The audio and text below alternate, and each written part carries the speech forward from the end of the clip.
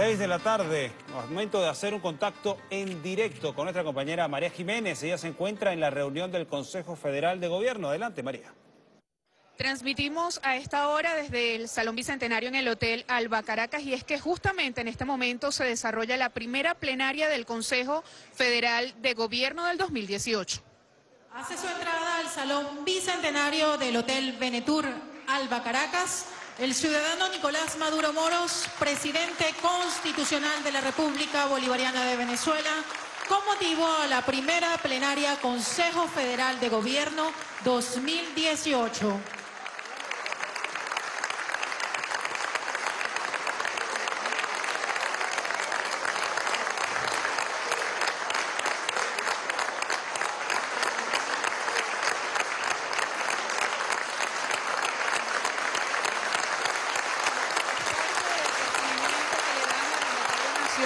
las autoridades regionales y municipales en esta primera plenaria del Consejo Federal de Gobierno 2018. En las imágenes ya el saludo de la primera y máxima autoridad del país, quien saluda de esta manera a las autoridades regionales y locales. Recordemos que más temprano, una jornada que se ha desarrollado desde tempranas horas y en la que afinan estrategias para los gobiernos locales y municipales como parte del Consejo Federal de Gobierno. Recordemos que este es el órgano responsable de la planificación y coordinación de políticas y acciones para transferir competencias del poder nacional al poder regional, municipal, pero en especial al poder popular. Recordemos igualmente que ya la máxima autoridad del país había orientado seis líneas estratégicas a propósito de la reelección de su periodo presidencial de cara a los próximos seis años. Había dicho el mandatario nacional que el diálogo y la reconciliación nacional figura como la primera línea estratégica en este plan de acción. Igualmente avanzar por un acuerdo económico y productivo se plantea igualmente una lucha frontal contra la corrupción, el fortalecimiento de los programas sociales, pero además la defensa de Venezuela ante las agresiones imperiales, las agresiones externas, la defensa de la soberanía ha sido también prioridad en estas líneas estratégicas del Ejecutivo Nacional. Y por último, la sexta línea precisaba el Ejecutivo Nacional seguir avanzando en la construcción del socialismo bolivariano. Es importante destacar que en esta primera plenaria del Consejo Federal de Gobierno 2018 también participa el alto mando militar y el alto mando político de la revolución bolivariana, además de los alcaldes y gobernadores recién electos en el año 2017, que recordemos más de 300 alcaldes fueron electos por parte de las fuerzas revolucionarias, alcanzaron la mayoría de la victoria en las pasadas elecciones municipales y 19 gobernaciones en las elecciones regionales que también le dieron el triunfo las fuerzas patriotas y revolucionarias. Ha dicho el Ejecutivo Nacional que se plantea una renovación de parte de las políticas económicas y sociales en este periodo de gobierno de seis años y se prevé en este encuentro, en esta plenaria del Consejo Federal de Gobierno, se den a conocer importantes anuncios de interés nacional, pero en especial para las regiones de nuestro país. Allí parte de las imágenes, el saludo, el recibimiento que le dan las autoridades municipales y regionales a la máxima autoridad del país en este importante Consejo Federal de Gobierno que está regido por la ley orgánica del Consejo Federal de Gobierno y que busca descentralizar las políticas nacionales eh, y orientarlas hacia los políticas regionales y municipales. Entonces, destacábamos que además del triunfo de la Asamblea Nacional Constituyente, las fuerzas revolucionarias llevan como victoria el triunfo de las elecciones municipales y regionales. Se prevé el día de hoy que afinen un plan de acción estratégico en esta importante plenaria en la que abordan temas de interés nacional, pero es importante destacar que en cada región de nuestro país se han desarrollado distintas jornadas, asambleas populares con la participación de los consejos comunales y las comunidades organizadas del país que han elevado distintas propuestas a las autoridades municipales y regionales. Y en función de estas propuestas sean elevadas al Ejecutivo Nacional para dar respuesta a las principales solicitudes, intereses, demandas, inquietudes de la población venezolana de, todo el territorio nacional. Es allí parte entonces del saludo, de la conversación de la máxima autoridad del país con las autoridades municipales y regionales.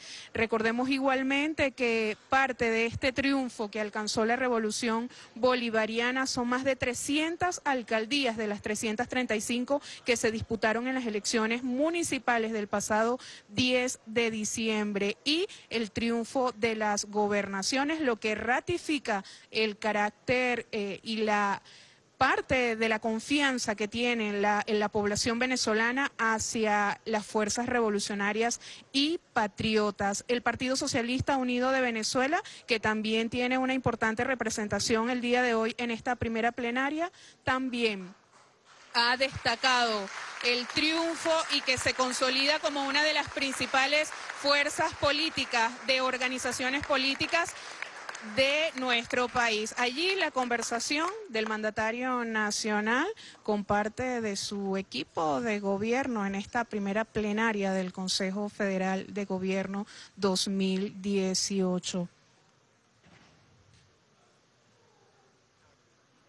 Señoras y señores, sean todas y todos bienvenidos a la primera plenaria Consejo Federal de Gobierno 2018 que dirige el presidente Nicolás Maduro Moros tras ser reelecto como jefe de Estado el pasado 20 de mayo. Iniciamos esta jornada con las palabras del vicepresidente ejecutivo de la República Bolivariana de Venezuela, Tarek El Aizami. Muy buenas tardes, queridos compatriotas alcaldes, alcaldesas, gobernadores, gobernadoras, compatriota presidente Nicolás Maduro. Luego de la jornada memorable del pasado 20 de mayo, una de las primeras tareas que nos ha dado el presidente de la República ha sido abrir un gran debate y un diálogo político con todos los sectores de la vida nacional. Y fue así que convocamos la semana pasada a un debate y a una discusión extraordinaria con gobernadores y gobernadoras bolivarianos y hemos logrado a través de ellos construir una agenda de trabajo que vamos a debatir y discutir durante el día, como lo hemos hecho ya de manera ampliada con todos los gobernadores y gobernadoras, alcaldes y alcaldesas, para el nuevo comienzo de esta etapa del gobierno bolivariano. Así lo ha definido el presidente de la República. El nuevo, el nuevo, el nuevo comienzo enmarcado en seis líneas principales que el presidente anunció. El diálogo y la pacificación en Venezuela, un diálogo por la paz, la reconciliación nacional. Segundo, hacer un nuevo sistema de distribución, comercialización y fijación de precios que pasa por un acuerdo económico productivo para construir la prosperidad económica y un proceso de crecimiento sostenido. En tercer lugar, la lucha frontal contra la corrupción, la nueva ética patriótica y ciudadana y la moral administrativa en el ejercicio de las funciones públicas. Por cuarto lugar, o en cuarto lugar, el fortalecimiento y la ampliación del sistema de protección del carnet de la patria. Lo nuevo en las misiones y grandes misiones, seguir profundizando en el empoderamiento del poder popular y sobre todo la protección social como eje central del esfuerzo del gobierno bolivariano. La defensa de Venezuela y enfrentar las conspiraciones, seguir consolidando un, un, frente de la patria, un frente en defensa de la soberanía y la independencia de la patria, es el quinto desafío que nos ha colocado el presidente Maduro. Y en sexto lugar, que abraza a las cinco líneas anteriores, el socialismo multidimensional, el socialismo en lo ético, en lo moral, en lo espiritual, el socialismo político, fortaleciendo nuestras ideas con independencia a las posiciones que se, que se asuman, en lo social, en lo económico y en lo territorial. Hoy en la mañana, presidente, como resumen, hemos sostenido ya sendas jornadas de trabajo con gobernadores, ahora mismo con alcaldes y gobernadores también, para ir construyendo y desagregando cada uno de estos puntos. Ha surgido la propuesta de incluir un, eh, eje también de servicio y seguridad pública como parte de la propuesta que se ha recogido de los alcaldes y de los gobernadores y que nosotros hoy la traemos aquí. Así que, presidente, eh, lo dejo en el uso de la palabra con este breve resumen. Agradecer a todos los compatriotas que han participado durante la mañana de hoy en este gran taller del Consejo Federal de, Gobierno Ampliado y seguir construyendo esta agenda en el nuevo comienzo de esta etapa que tiene como centro fundamental del esfuerzo revolucionario la economía nacional. Muchas gracias, presidente.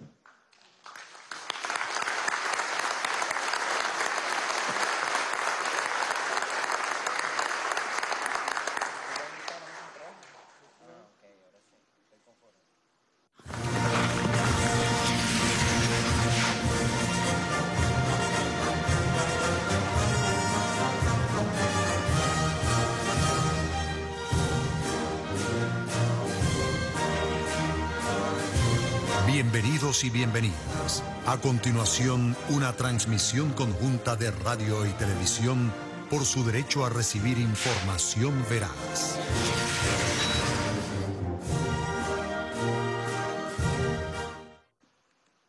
Queridos gobernadores, gobernadoras, alcaldes y alcaldesas de los estados y municipios del país en su totalidad.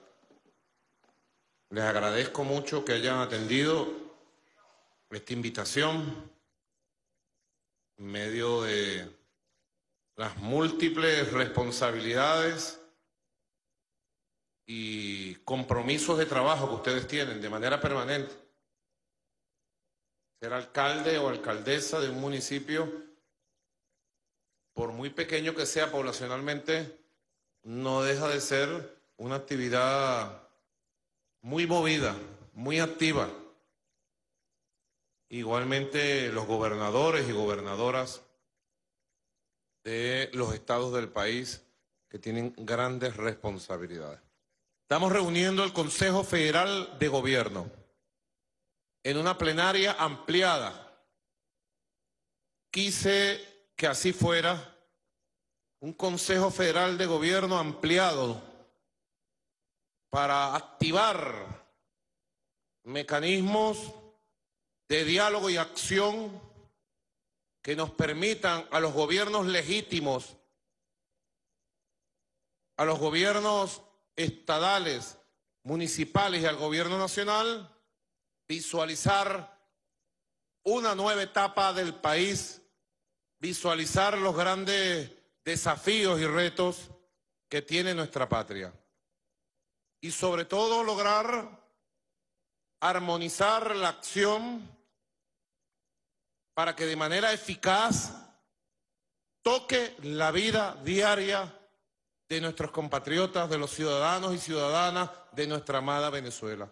Ese es el objetivo central. Debe ser el objetivo central de toda nuestra acción política gubernamental. Por eso quise que fuera un Consejo Federal de Gobierno ampliado para ver los ojos de ustedes, alcaldes, alcaldesas, tocar el corazón de cada uno de ustedes, más allá del más allá, poder ver los ojos de ustedes, gobernadores, gobernadoras, más allá de que sean de la oposición o sean de las corrientes revolucionarias y bolivarianas, y decirles, tenemos un gran reto en este país, un gran reto multidimensional, un gran reto por la paz en primer lugar. Tenemos un, desafío gigantesco de consolidar la paz con igualdad, consolidar la paz con libertad, consolidar la paz con pueblo activo, vivo, partícipe, protagonista, consolidar la paz con felicidad social y sobre todo consolidar la paz futura con prosperidad y crecimiento económico real de la Venezuela profunda. La paz, elemento vital conquistado y que debemos nosotros poner en el centro. Con paz es posible todo. Lo he repetido mil veces, un millón de veces, en las batallas que hemos dado durante los dos últimos años. Con la paz todo es posible. Con la paz se puede enfrentar los más grandes problemas. Con la paz podemos comenzar a construir y sembrar las bases de la Venezuela potencia. Con la paz podemos afrontar cualquier dificultad y superar cualquier obstáculo. La paz como centro del gran esfuerzo nacional de sus autoridades legítimas. Autoridades legítimas Nunca está de más repetir lo que hay periodistas de varios medios de comunicación nacionales e internacionales. Nunca estará de más repetir ante el país y ante el mundo autoridades legítimas de la República electas por voto popular, directo, secreto, universal, en libres comicios en las elecciones del 15 de octubre, 10 de diciembre del 2017 y del 20 de mayo de este año 2018. Autoridades legítimas, electas en libres comicios, como ha sido en el transcurso de la vigencia de nuestra hermosa constitución bolivariana en los últimos 19 años, de manera consecutiva durante 24 veces. Récord mundial. No está de más jamás repetirlo, repetirlo, decirlo. Porque los enemigos de la patria repiten todos los días sus amenazas, sus coacciones, sus mentiras, sus manipulaciones. Ahí vemos el comunicado de los cancilleres de la Unión Europea quien de manera insolente pretende meter sus narices en la vida interna de la República Bolivariana de Venezuela. Y repiten y repiten y repiten las mentiras, las mentiras, las mentiras. Insolentes, insolentes, insolentes. Y Venezuela debe decir, fuera de aquí, Unión Europea. Basta ya de intromisión, basta de intervencionismo. A Venezuela se respeta.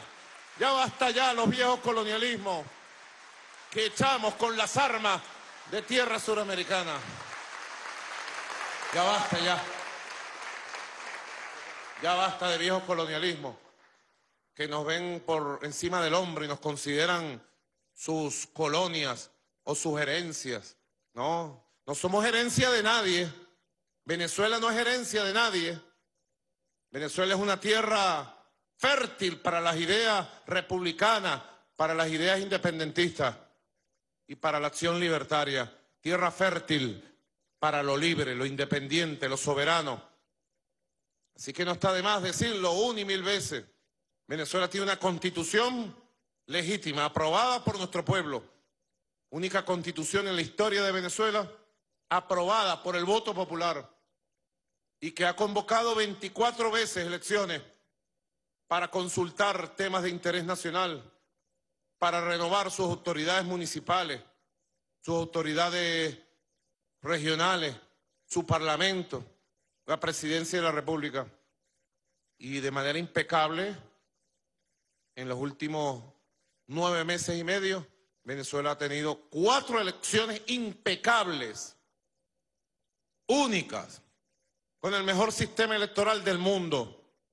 Y aquí estamos, las autoridades legítimas reunidas como manda la Constitución en Consejo Federal de Gobierno para atender los problemas de nuestro pueblo, para gobernar de manera colectiva, de manera democrática, de manera dialogante. Para gobernar, sí, con el pueblo y solo con el pueblo. Aquí estamos.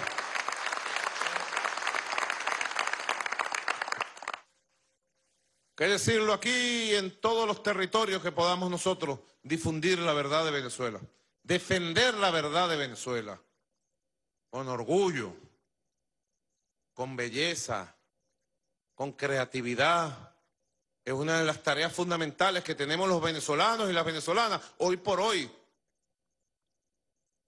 Y ustedes me dicen una de las tareas fundamentales, presidente, ¿qué cree usted que debe estar en la agenda de cada uno de nosotros? Defender a Venezuela. Repudiar las sanciones criminales que se pretenden contra el comercio, las finanzas, la economía de nuestro país, que hacen sufrir a los venezolanos. Sí, lo hacen sufrir. Son sanciones contra el pueblo y su dignidad. ¿De quién? De los viejos imperios. ¿De quién? De los imperios que se creen el gobierno del mundo, el policía del mundo, el juez del mundo. Gobierno, juez y policía pretenden el imperio estadounidense y los viejos, anticuados y pasados de moda, imperios coloniales de Europa, que pretenden tratar al Asia, al África, a la América Latina y al Caribe como que fuéramos imperios coloniales. No, aquí hay un pueblo libre, aquí hay autoridades legítimas, Venezuela tiene una constitución, tiene una democracia, tiene una república sólida y continuaremos en ese camino.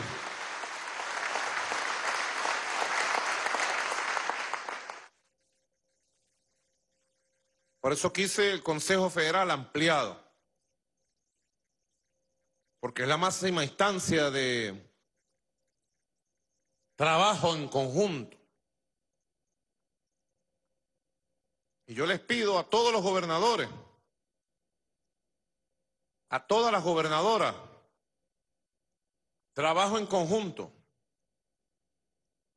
Cada quien con su perfil, con su estilo. Y en el caso de los gobernadores, sabemos que hay cuatro gobernadores que responden a las plataformas políticas de la oposición venezolana, de las oposiciones, con su permiso, las oposiciones que ganaron con votos. Y yo no tuve ninguna duda, ni nosotros tuvimos ninguna duda, ni por un segundo de desconocer el resultado electoral de los gobernadores de la oposición. O de decir que había sido fraude de ellos. O cualquier otro invento o excusa, ¿no? Ganaron, ganaron. Y punto. Uno de los gobernadores de la oposición, el gobernador de Anzuate, me decía que los recursos no le bajan. Hay que revisar eso.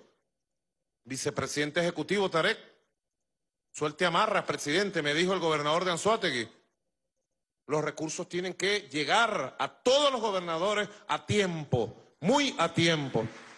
Y yo le digo, y saben que es así, si ustedes o cualquier gobernador tiene proyectos especiales para el desarrollo de la infraestructura, de los servicios, de la economía, cuenten con los apoyos suficientes del presidente de la República para avanzar en esa dirección. Así debe ser, compatriota. Primera línea, la paz, la paz, la paz. La paz no solo como ausencia de violencia política, dicen algunos filósofos. La paz como el establecimiento de un estado de bienestar, de igualdad, de participación, de felicidad social, como decía el libertador Simón Bolívar en el Congreso de Angostura, la felicidad social, que es la felicidad colectiva. La paz, ¿sí? También como un componente fundamental para la política. Y yo lo he venido planteando, gobernadores, gobernadoras, alcaldes, alcaldesas, lo he venido planteando. Yo quiero un proceso de pacificación. Y puse como ejemplo a Rafael Caldera y a Luis Herrera Campín. Nadie podrá sospechar de ningún pasado o ningún presente vinculado a la democracia cristiana de mi parte. Pero sin lugar a dudas, con las razones históricas que tuvieron entonces en el año 68 el doctor Rafael Caldera y en el año 78 el doctor Luis Herrera Campín, sin lugar a dudas contribuyeron ambos a la paz política necesaria para un país. Creo que nadie lo duda en este momento histórico. Puede haber interpretaciones del por qué lo hicieron, de cómo lo hicieron. Se quedan en la interpretación porque solamente queda un resultado, la paz política. El abandono de las armas y la lucha armada por parte de actores políticos que desde la izquierda tenían una fuerza importante en Venezuela en los años 60. No hay que olvidar que Fabricio Ojeda, presidente de la Junta Patriótica, que derrocó al gobierno de Marcos Pérez Jiménez, era un revolucionario. Para no citar otras fuentes históricas de la fortaleza de la izquierda en Venezuela. Y en los años 70 la izquierda también brotó como una esperanza en el país.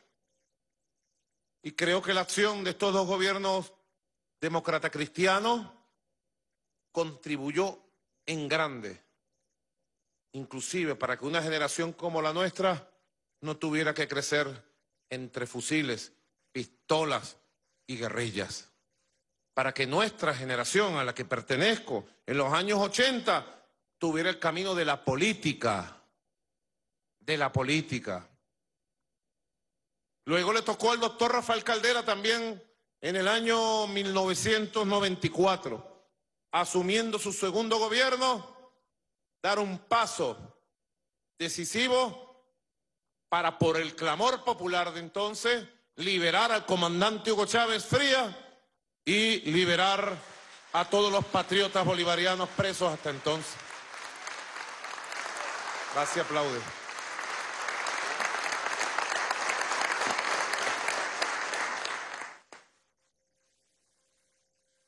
Pero también hay que ver la otra parte no solo la responsabilidad de gobierno y Estado, que en este caso recae en mí en este momento, y en su momento recayó en Rafael Caldera, Luis Herrera Campín, también hay que ver la contraparte. El comandante Chávez y la izquierda revolucionaria de los 60 y 70 llegaron a un acuerdo con el Estado de respetar la Constitución, las reglas políticas de la democracia abandonar las armas, la conspiración e irse por el camino de la democracia, de la participación electoral.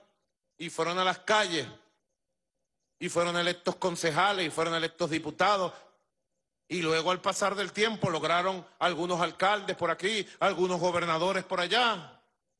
Lanzaron candidaturas presidenciales en su momento de José Vicente Rangel, el gran líder de la izquierda electoral democrática de los 70 y los 80. Por ahí lanzaron candidaturas del maestro Prieto Figueroa, de Pajalagarraga. Fueron a actividad política electoral y abandonaron las armas. Igual hizo el comandante Chávez. Una vez indultado, se fue a las calles. Ahí estábamos nosotros, los muchachos del 94, por estos mismos espacios del Ateneo, recibiendo al comandante Chávez. El comandante Chávez nos dio un mensaje, vamos a las calles, vamos a las catacumbas del pueblo, y de las catacumbas del pueblo, con ese pueblo, iremos a Miraflores, más temprano que tarde por el voto popular. Y así fue, un milagro histórico, único.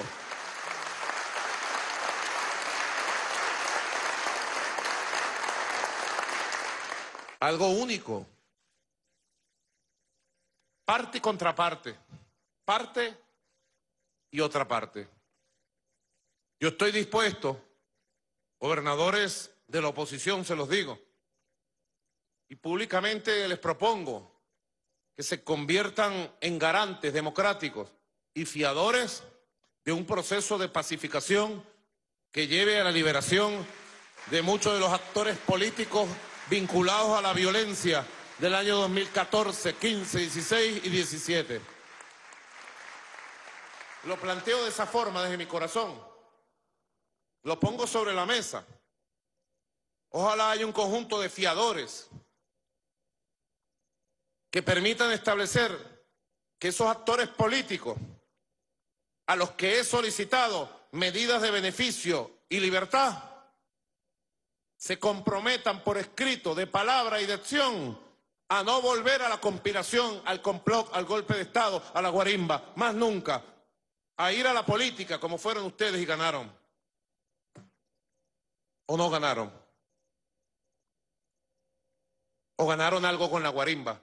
Ninguno de ustedes ganó su gobernación guarimbeando. Ganaron su gobernación buscando los votos y nos ganaron. Para dolor nuestro y para felicidad de ustedes, de sus seguidores. Yo quiero unas amplias medidas de beneficio, pero también pienso en Caldera, en Luis Herrera, en los 60, en los 80, y también pienso en Chávez 94, que tuvimos el honor, que nuestros líderes tuvieron la valentía de decir, no más a las armas, no más a los golpes, no más a los complots, no más a la violencia. Ahora vamos por el camino de la paz, del debate político, del diálogo, de la confrontación civil, con ideas, con propuestas. Es el camino que yo quiero.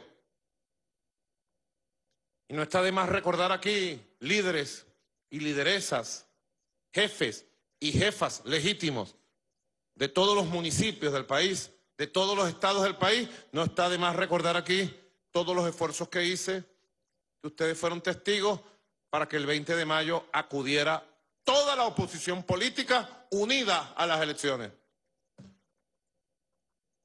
Una cosa increíble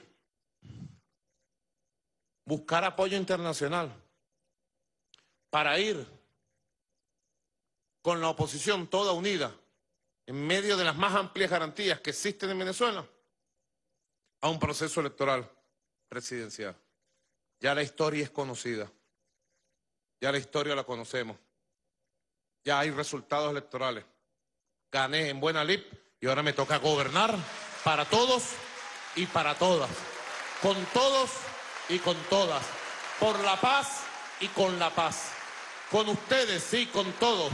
Soy el presidente de todos y de todas, y así lo ejerzo, con plena conciencia de mi papel en esta época histórica para consolidar la paz. Quiero paz.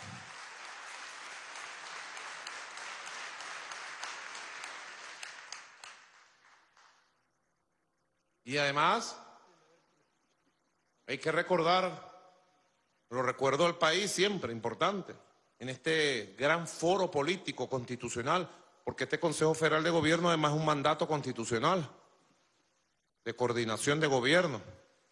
Bastante de esto recuerda al profesor Aristóbulo Isturiz, redactor de los artículos del Consejo Federal de Gobierno, junto al doctor Germán Escarrá y a otros eminentes constituyentes. ante este foro político. Les recuerdo además el gesto del comandante Chávez en el mes de diciembre. No sé si me trajeron la Gaceta Oficial, creo que es el 31 de diciembre de 2007, donde el comandante Chávez, por facultad constitucional como jefe de Estado, dio amplias medidas de perdón a un largo listado de líderes opositores que participaron en los sucesos del golpe de Estado de abril del 2002. Público y notorio, como dicen los abogados, la participación de muchos de ellos. Creo que la medida sirvió temporalmente porque permitió atraer al campo político electoral a todos los actores del golpe de Estado. En el 2008, elecciones de gobernadores, alcaldes. En el 2009, elección de la enmienda constitucional. En el 2010, elección de la Asamblea Nacional. En el 2012, elección presidencial y elección de gobernadores. 2013, la elección presidencial, luego de la partida física de nuestro comandante. Y luego en diciembre de 2013, hasta ahí llegó. Porque la participación municipal de diciembre del 2013 fue una participación con llamado insurreccional, con llamado a derrocar el gobierno legítimo. Lo que pasa es que no contaban que este pueblo iba a elegir al 80% de los alcaldes por voto popular de la bancada revolucionaria del bloque de fuerzas bolivarianos y los que aspiraban a tener una mayoría de alcaldes para ir a derrocar al gobierno constitucional se quedaron guindados de la brocha. Y fue en enero, febrero de 2014 que arrancó el espiral conspirativo, golpista, violento otra vez. Hagamos memoria si queremos la paz. Enero, febrero, ya 2014 significó el arranque de la nueva espiral conspiradora, golpista, la nueva espiral violenta, que no ha cesado hasta el día de hoy Hoy no hay violencia en Venezuela. No es porque no quieran algunos factores de la derecha, no. Es porque el pueblo no lo permite, es porque el gobierno no lo permite, es porque la gente quiere paz, es porque triunfa la conciencia mayoritaria. Hoy no hay golpe de Estado en Venezuela o intento de golpe de Estado en Venezuela. No es porque ellos no quieran, porque están conspirando todos los días desde Colombia, trayendo dinero para comprar conciencia. No, es porque hay una unidad monolítica de la Fuerza Armada Nacional Bolivariana para derrotar a los sectores golpistas. Es porque hay una profunda unión cívico-militar. Entonces ahí va, ahí va, ahí va mi mensaje. Quiero amplios beneficios con un objetivo, un acuerdo de paz una voluntad de paz, un proceso de paz.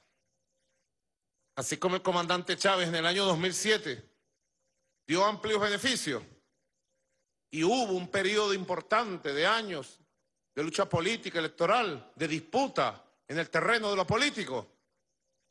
Yo quiero que abramos un espacio largo, amplio, en el horizonte político de Venezuela de disputa política, en el campo de las ideas, del debate, del conflicto civil sano y del voto popular. No es la primera vez que lo planteo. Mil veces he buscado el diálogo y unas cuantas veces más lo he logrado. Yo quiero, en ese sentido, ese gran diálogo pacificador. Y en los próximos días me voy a atrever a tomar decisiones en ese sentido, en esa dirección. Y ojalá, lo digo, que quede nota, como dicen en el campo diplomático, que quede nota en la memoria histórica del pueblo, ojalá el paso que dé de liberación y de beneficio para actores políticos que han estado en la violencia, en la conspiración y en el golpismo, ojalá sea una lección para que todos ellos se vayan a la lucha política y abandonen el camino de las armas, de la violencia, del complot y la conspiración. Ojalá como dice John Lennon, vamos a darle una oportunidad a la paz. Yo le voy a dar una oportunidad a la paz. Ya quedará de parte de ellos. Si reinciden a corto plazo, si reinciden a mediano plazo, o si ojalá con la bendición de Dios, nuestro Señor, Padre Creador, ojalá, más nunca violencia, más nunca golpismo, más nunca conspiración, más nunca complot. Ojalá. Apuesto a eso. Lucha política intensa, sí. Tú, tú, tú, tú. Vamos a darnos. En el campo de las ideas. En el campo de la verdad de cada quien. En el campo electoral cuando toque. En el año 2020, dentro de dos años apenas, tendremos elecciones a la Asamblea Nacional. Y la oposición no va a participar en la renovación de la Asamblea Nacional. Pregunto desde ya, porque dos años pasan volando.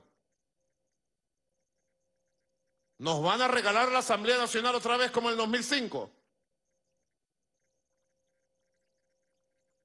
¿O es que creen que va a venir el imperialismo gringo y los viejos imperios europeos a nombrar la Asamblea a dedo?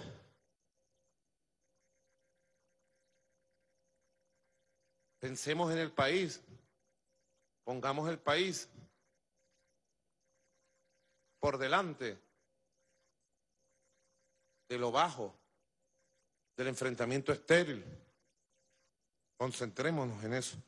Pido por la paz. Pido por la paz. Quiero paz. Basta de golpismo, basta de guarimbeo, basta de violencia, basta de conspiraciones, basta. Pido por la paz de Venezuela. Con la paz todo es posible, hermano. Igualmente, gobernadores, gobernadoras, es necesario elevar, compañero Tarek, compañero Wilmar Castro Soteldo, que viene llegando de la Feria Mundial de San Petersburgo, Feria Económica Mundial. Me informó que Venezuela recibió la solidaridad de la mayoría de los países, de las grandes potencias, contra las sanciones del gobierno de Estados Unidos y la agresión de los viejos imperios europeos. La solidaridad en el Foro Económico Mundial de San Petersburgo, una ciudad hermosísima que fue la capital del imperio zarista, de los zares, y también fue el epicentro de la Revolución de Octubre hace 100 años. Así que, en segundo lugar, de ideas, de propuestas, está el tema económico. Es muy importante. Nosotros tenemos que, y se los planteo a todos y a todas, tenemos que ir a un proceso de saneamiento de reequilibrio de todo el sistema económico desde el municipio, desde el Estado y las regiones hacia la economía nacional. Tenemos que generar un proceso virtuoso de abajo hacia arriba. El pueblo clama, clama, clama que haya un proceso de saneamiento de todos los mercados municipales del país y que los mercados municipales tomemos el control y saquemos esposados a las mafias que los controlan hoy. Todos los mercados municipales.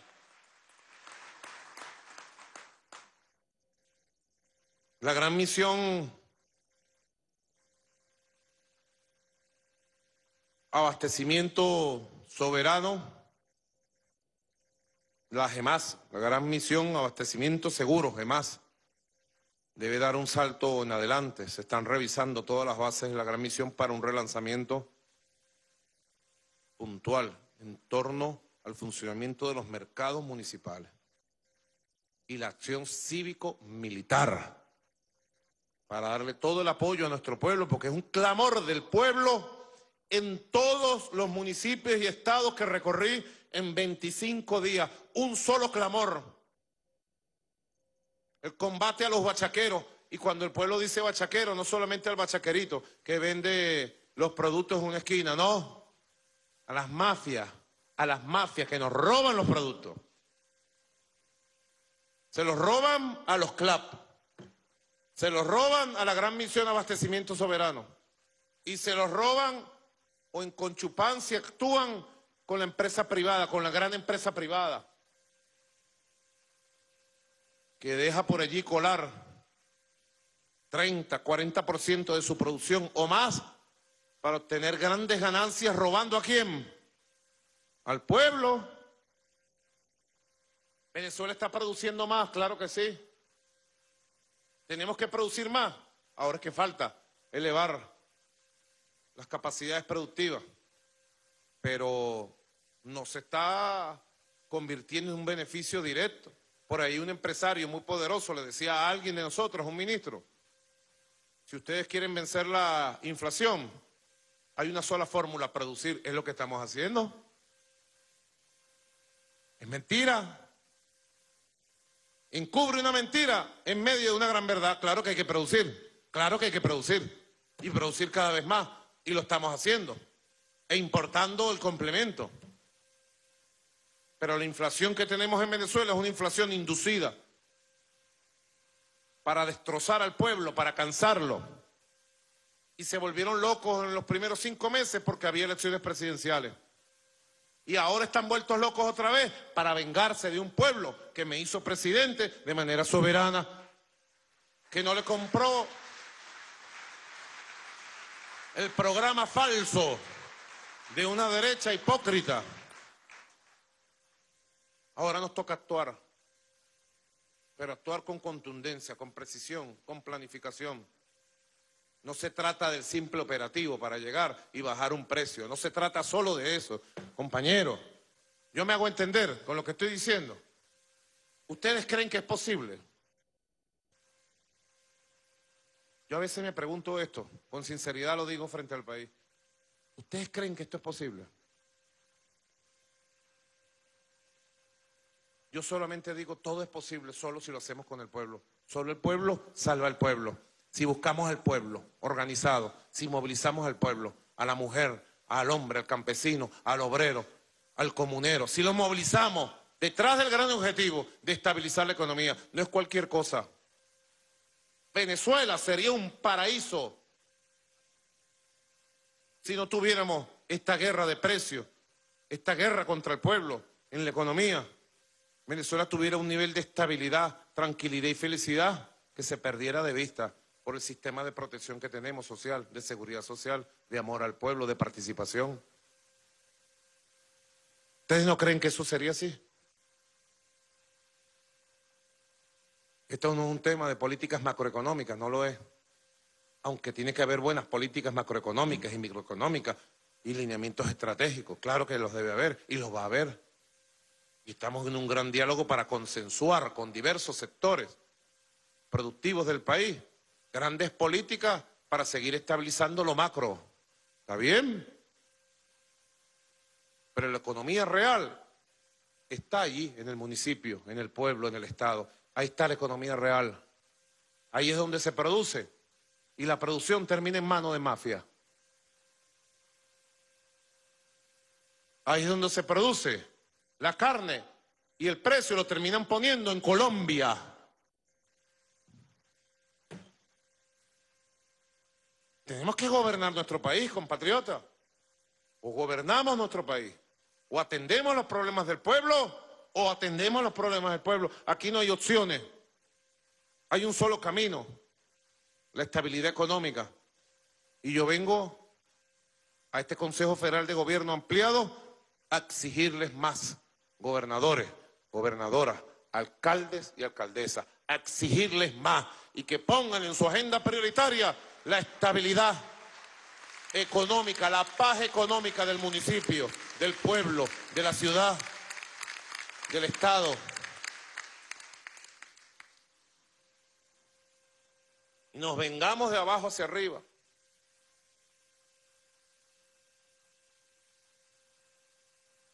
De la gran misión abastecimiento soberano debe emitirse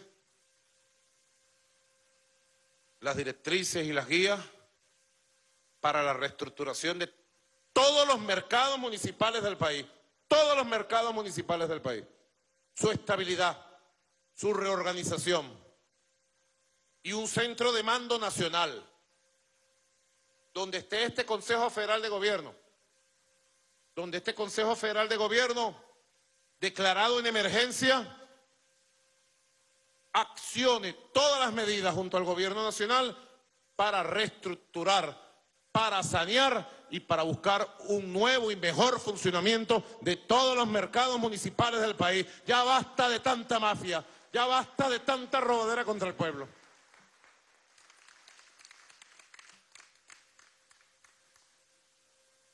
Cuento con ustedes. Todo, todo el sistema municipal. El que trae la carne, el que trae el huevo. Que trae la legumbre. El que trae todo. Por eso digo que es un nuevo comienzo una reestructuración de un modelo económico hecho para las mafias. No es el socialismo el que está fallando, es el capitalismo, ese viejo salvaje que está vivo y como un zombi saca sus manos debajo de la tierra para clavarle sus garras al pueblo con precios imposibles de pagar o para esconderle los productos. El capitalismo salvaje y nos vamos a entregar a ese capitalismo salvaje. Le vamos a entregar la patria. El pueblo dijo que no el 20 de mayo. El pueblo dijo que no el 30 de julio. El pueblo dijo que no el 15 de octubre y dijo que no el 10 de diciembre. Y el pueblo dirá que no muchas veces. No al capitalismo salvaje, capitalismo zombie. Es un gran esfuerzo, compañero. Hay que alinear las agendas para sanear sorprender, transformar. No se trata simple operativo, que llega el Sundé junto al alcalde y sale en televisión y luego no se ven más. Y después de que se van vuelven a poner a remarcar los mismos precios. No estamos haciendo nada. Ese sistema de supervisión se agotó. No se trata simple de un sistema de supervisión, es hacer una revolución en los sistemas de mercados municipales del país Así lo decreto, así lo declaro, así lo exijo de todos ustedes. Compañeros, compañeras.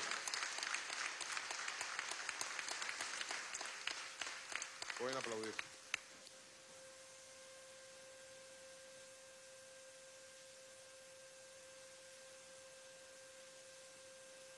Así que de inmediato quiero proceder a firmar el decreto en las próximas horas para fijar las guías, los criterios de reestructuración y además la creación de un centro nacional de mando y conducción de todo el sistema de mercados municipales del país. Es una necesidad nacional. Y poner al frente un equipo competente es uno de los objetivos que tenemos.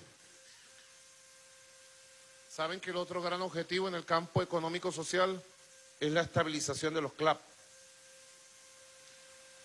Su periodicidad, su mejoría en cantidad y calidad de producto. ¿Qué sería de Venezuela sin los CLAP? Seis millones de hogares.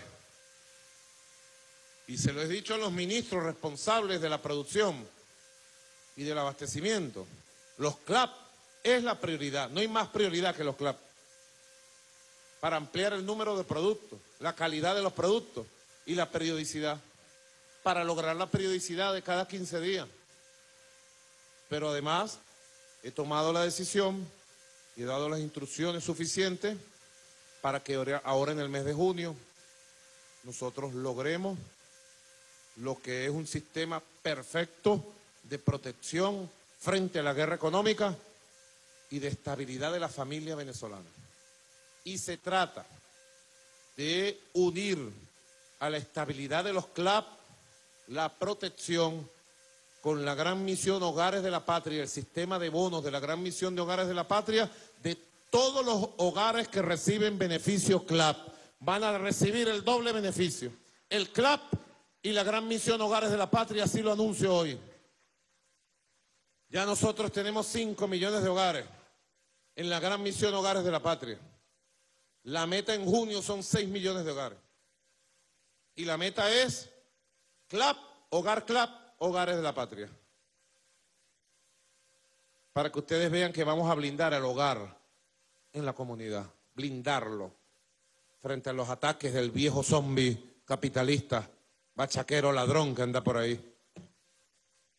Trabajar con las dos manos, estabilizar la producción, estabilizar la distribución, estabilizar el sistema de mercados municipales, estabilizar el funcionamiento de supermercados, abastos, superabastos del sistema privado, tiendas CLAP,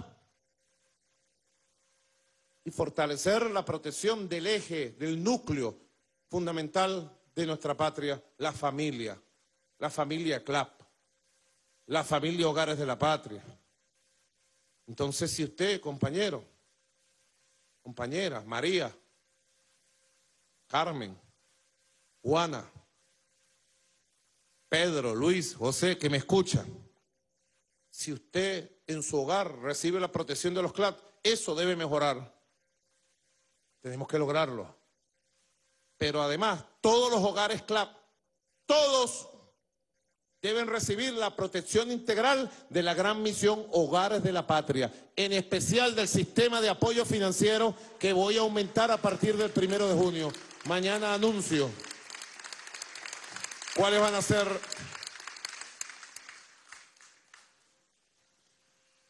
las nuevas coordenadas de la gran misión Hogares de la Patria proteger el empleo, proteger la estabilidad, proteger al trabajador. Ahí vamos, ahí vamos, ahí vamos. Proteger la familia. Mientras nosotros tenemos que ir haciendo una revolución económica de abajo hacia arriba en lo económico, en lo local, la revolución de la economía comunal, la revolución de la pequeña y mediana industria, la revolución productiva del campo, de la ciudad, articulando la economía municipal, identificándola y apoyándola integralmente. Me propuso el vicepresidente Taret la creación de un fondo especial, ¿verdad? Por favor, si pudiera hacer la propuesta para que nuestro pueblo la pueda escuchar. Sí, presidente, mañana estuvimos trabajando en un tema de crear un fondo especial para todo lo que es el nuevo comienzo económico. A partir del mapa productivo en cada territorio, municipal, estatal, regional, identificando las industrias de la gran misión abastecimiento soberano y de los 15 motores productivos, pero haciendo énfasis especialmente en los tres primeros motores, va a tener un fondo de acompañamiento especial del Gobierno Nacional, presidente, para estimular la producción desde lo territorial. Así lo hemos definido como un fondo de acompañamiento para el nuevo comienzo económico y el acuerdo productivo nacional. Este fondo, presidente, va a variar. Puede ser en divisas convertibles, en petro, para reactivar todas las zonas económicas especiales declaradas petro durante estos, este último mes, así como también créditos excepcionales de la banca pública nacional. Correcto.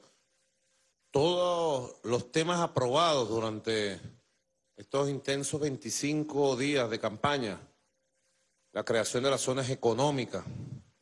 Tienen que ser una referencia para todos los estados y municipios. Nosotros podemos llevar el petro como forma de inversión a todos los municipios del país. Solo basta un proyecto sustentado, solo basta una propuesta. Y yo les digo, alcaldes, alcaldesas, se lo pueden decir a sus compatriotas, a a la gente de los municipios.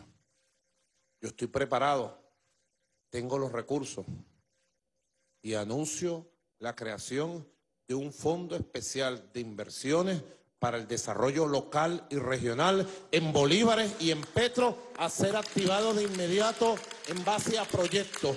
Un nuevo fondo de desarrollo local, para el desarrollo local, estadal. No se duerma en los laureles. Presidente, hemos identificado siete rubros eh, especiales para el desarrollo alimentario, agroproductivo, ¿no? Que además Venezuela tiene una tradición histórica de la producción de estos rubros. Maíz amarillo, maíz blanco, arroz, caña de azúcar, caraota, café y cacao. Con esos siete rubros vamos a lograr un salto cualitativo en lo productivo y vamos a generar una independencia y una soberanía agroalimentaria y además hay rubros que tienen ya potencialidades para la exportación y generar así nuevas fuentes de riquezas en divisas. Creo que es uno de los grandes compromisos que hoy hemos asumido en este Consejo Federal de Gobierno.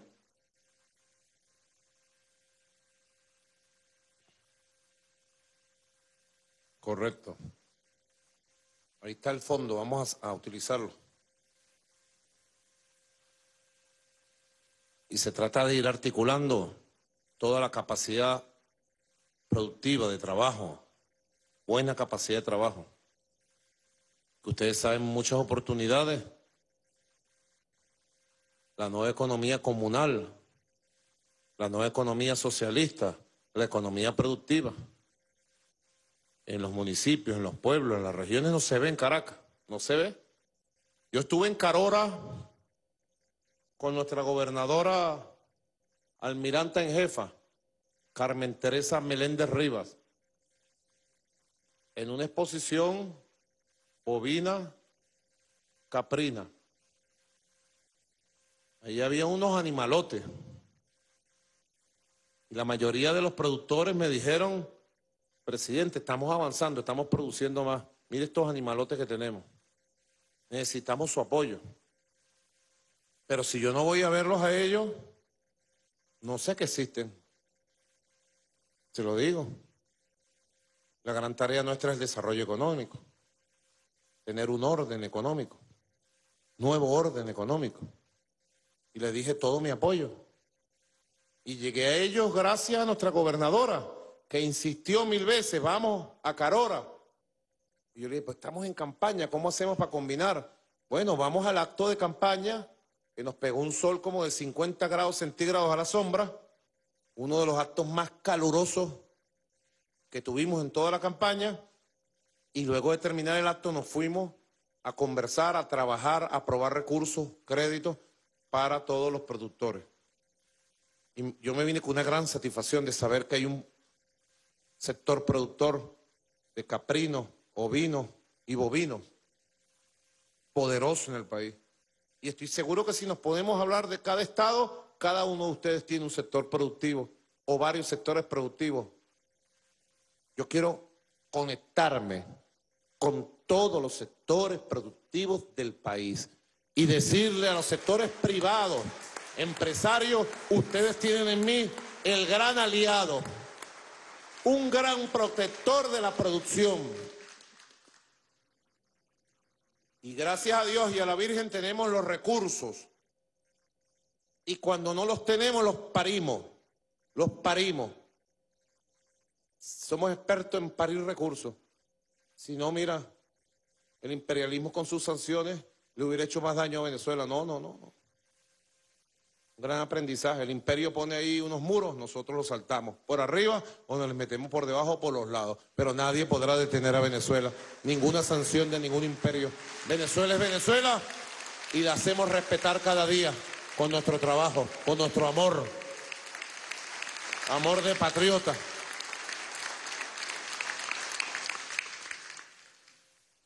La confianza que hemos recibido de Venezuela el 20 de mayo tiene que ser compensada con trabajo, con soluciones. En primer lugar, proteger al pueblo al máximo. Ahí está mi mente. Y buscando los recursos a proteger al pueblo al máximo, a la mujer jefa de familia, al hombre jefe de familia, a la abuela, al abuelo, al padre, a la madre, proteger a los niños, a las niñas. Así. Esa es la base de nuestro modelo. Pero por otra parte, producir. Producir más leche, más carne, más huevo, más maíz, más arroz. Producir todo. Si Venezuela lo tiene todo. Y después, además, no solo producir, sino garantizar la distribución, la comercialización y el respeto del sistema de precios justos. Ellos, cuando digo ellos, los zombies, han dolarizado todo el sistema de precios del país. Bandidos, ladrones. Tenemos que ir descontaminando de la dolarización al sistema de precios. Porque la gran mayoría de los productos se producen en Venezuela. Entonces una botellita de agua me la quieres vender al precio del dólar. ¿Y el agua de dónde la sacaste? De un manantial, de una montaña venezolana. ¿Y el plástico de dónde lo sacaste? De la petroquímica venezolana. Y si esto es producto nacional en bolívares, ¿por qué carajo me le pone precio en dólares? Por la guerra económica criminal. Porque ellos creían que el pueblo se iba a rendir y el pueblo ni se rindió ni se va a rendir. Aquí lo que viene es trabajo, trabajo y más trabajo, soluciones y más soluciones, esperanza renovada y esperanza realizada es lo que viene en nuestra patria. En eso quiero trabajar, gobernadores, gobernadoras, en la paz, confiadores en el desarrollo económico, productivo, en la protección del hogar. Si ustedes me dijeran, de todo esto que es importante, todo es importante, pero para mí lo más importante es el hogar. Y me siento feliz que tengo los recursos suficientes para proteger al hogar, tanto con los CLAP como con la gran misión Hogares de la Patria. Todos los hogares, 6 millones de hogares o más. Quiere decir 24 millones de compatriotas, por lo menos, por lo menos de los 30 millones que formamos nuestra amada Venezuela. Por lo menos 24 millones de hogares. Si podemos, si podemos, claro que se puede, paso a paso se puede. Y solo nosotros tenemos el proyecto, el liderazgo, el poder para hacerlo. Liderazgo, proyecto y poder legítimo, constitucional. Yo lo dije hace una semana en el Consejo Nacional Electoral. A nosotros nadie nos ha regalado nada. Todo lo que tenemos lo tenemos por el voto popular. Todo lo que tenemos es legítimo constitucionalmente. Todo el poder que tenemos viene del soberano, el único, de donde puede emanar el poder político en Venezuela para ser concejal o para ser presidente. Todo el poder que yo he tenido en mi vida, y me perdonan que hable de mí, pido perdón, lo he obtenido en elecciones. Jamás he sido una aspirina, como dicen por ahí. Jamás he aspirado nada para mí en lo personal, nunca. Tuve conciencia cristiana y revolucionaria y chavista desde siempre, creo. Creo que era chavista antes de que conociéramos a Chávez. Y después el comandante nos llevó a la máxima esplendor. Toda esa hermosura de sentimiento, de desprendimiento y sacrificio por Venezuela. Tengo ese sentimiento de desprendimiento y sacrificio por Venezuela. Nunca aspirado a ningún cargo. Eso sí, a donde he ido ha sido con votos. Alguna vez fui presidente de centros de estudiantes por allá en educación media, con votos. Alguna vez fui delegado estudiantil del aula de clase, de curso con votos. Cuando llegué a trabajar en el metro de Caracas, a los tres meses, me eligieron delegado sindical de mi centro de trabajo, donde había 400 trabajadores. Y los compañeros me postularon y me eligieron con el 70% de los votos, casi lo que saqué ahorita.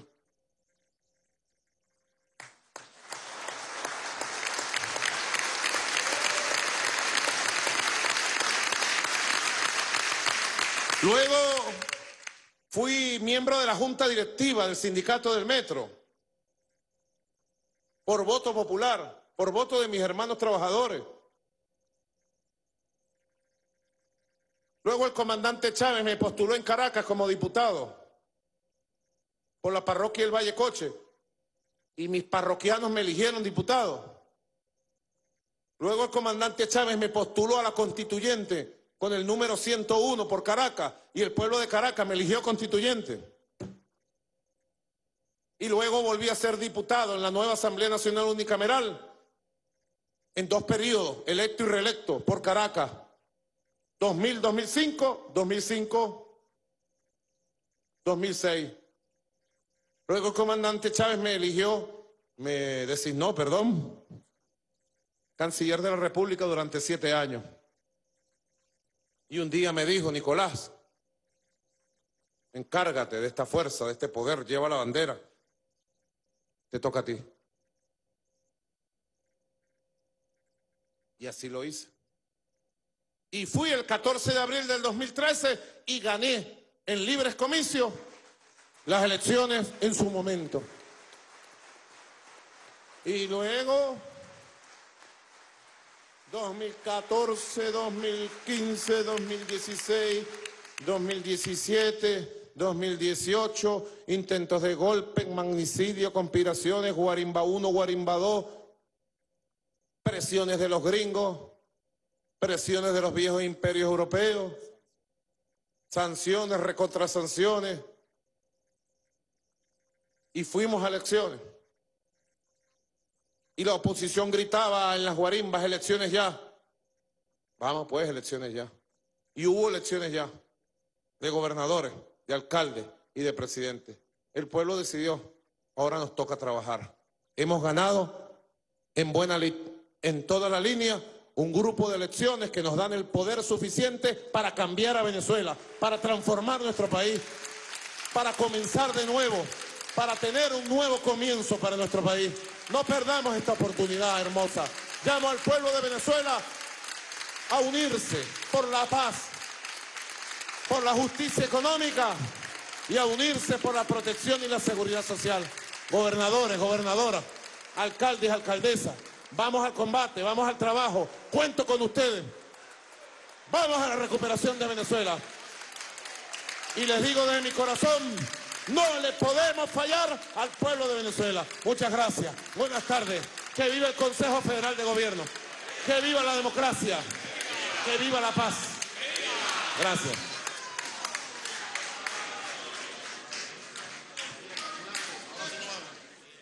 De esta manera culmina la primera plenaria Consejo Federal de Gobierno 2018.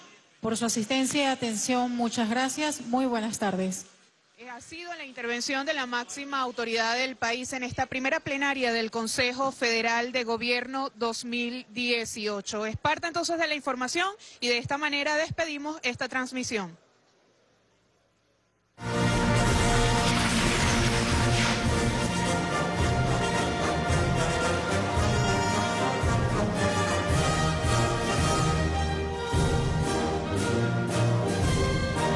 Ha culminado esta transmisión conjunta de radio y televisión. Gracias por su atención. Sigamos haciendo patria.